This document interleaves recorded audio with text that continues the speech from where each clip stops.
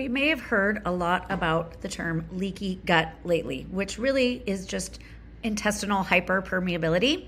And we call it leaky gut syndrome. Your small intestine, which is about 15 feet long, depending on the person, is where we absorb our vitamins, minerals, protein, things like that. Super important for it to be permeable enough to absorb those things from our food.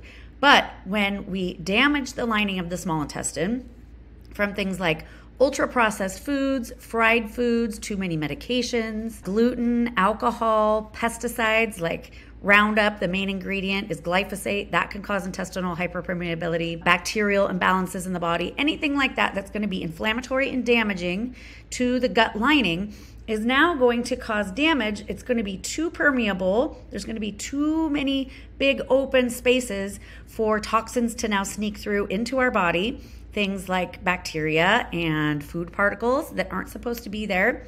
Things that are supposed to be excreted out of the body are now circulating through the body and can cause all kinds of things like joint pain, headaches, fatigue, in addition to the regular gut issues that people are having now indigestion, heartburn, bloating, bowel issues.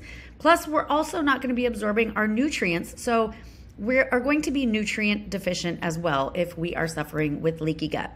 So, if you want to address leaky gut, we first need to find out what your root cause is. It's going to be different for every single person. We can do this with a gut microbiome test and also just working together to find out what your root cause is. We address it there, then we can begin the healing process.